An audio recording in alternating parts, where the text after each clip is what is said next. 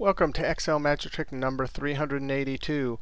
Hey, if you want to download this workbook and follow along, click on my YouTube channel, then click on my college website link, and you can download the workbook, Magic Trick 381 to 386. 382, um, kind of similar but totally different than the trick we just did, 381. We're going to merge two lists, but here's a twist. We have list 1 with some dates, and this uh, field here has different data than uh, the second list. This one has a date too, um, and it's going to have uh, different or similar data here. And the trick here is when we, here's list one. When we find a match from list two, we actually need to extract this and this. So really, the, sec the second column needs to be extracted from the first list, and the second column from the first list. So this would be our result.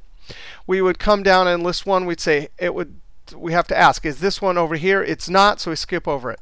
Is this date over here? It is, so we need to get the N3 and the N2 and bring them over here.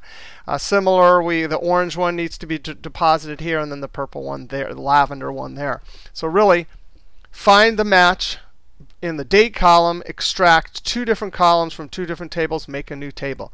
Let's go over here. We're going to look at two methods. The first method um, is the preferable method, I think. Uh, we have our whoops list here. And I'm just going to, I, I have this first uh, list, second list. I actually added this second column here. And then we'll just use this whole table to uh, do a simple filter and paste. All I'm going to do is ask in this column, hey, find this date, look it up over here, and return this value. If you can't find the date from list 1 over here in list 2, then put a blank here. So you ready? We're going to use um, uh, VLOOKUP equals VLOOKUP. The lookup value is going to be this, comma, the lookup table will be this whole table here. And we need to lock it because we're going down. So I'm going to hit F4 key twice, comma. If we're looking up the date, right here. VLOOKUP always looks in the first column. And then we have to tell it which column to take a value from and dump it over here. So this is in the second column, so we put a 2, comma. The uh, range lookup is either true or false. We need an exact match. So I'm not going to put false. I'm going to put 0. Close parentheses. Control Enter. Double click and send it down. We get an NA.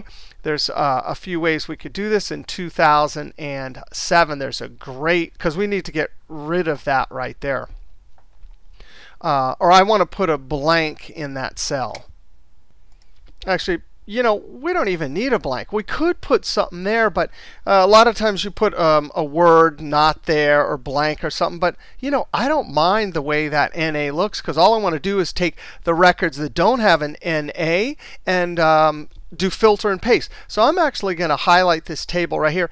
Notice there is a word right here. That's dangerous when you're creating, uh, doing data analysis like filter, sort, pivot tables.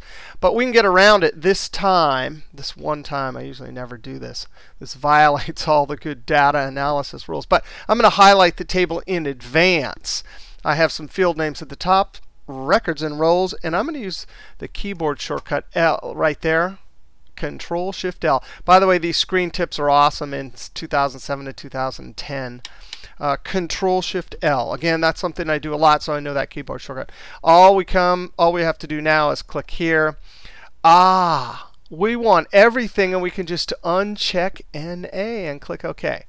Now we have our little list, copy, and the cool thing about filter, which is different than like subtotals. When you have a filter, you can see the blue over here. It means some rows are missing. But when you copy a filtered list, it actually copies just the visible cells, not those hidden uh, rows or data underneath. Now I'm going to click here and Control V.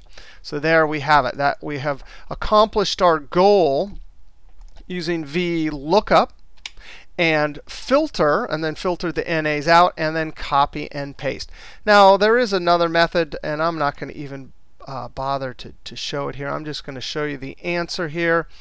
Uh, here we did I did if error and blank, but you didn't have to. You could do it like we did just a second ago with the NA. Um, I did sum product because I wanted to count how many were not blank. So I looked through here.